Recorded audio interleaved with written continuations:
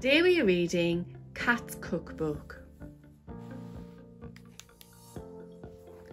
Cat has got a nice red pot. She wants to learn to cook. Maybe Acorn Library will have a helpful book.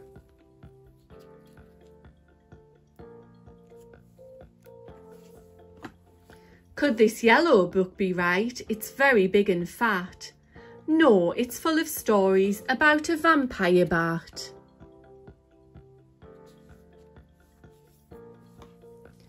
Cat has found another book. This one's small and green.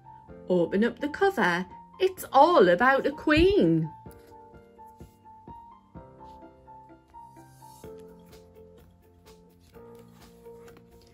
Could this blue book be the one the cat is looking for? What's it going to be about? A great big dinosaur. Maybe Frog who works here can help her find a book. Will this orange one be right? Open it and look.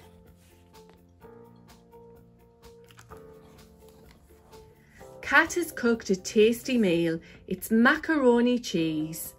All her friends hold out their plates.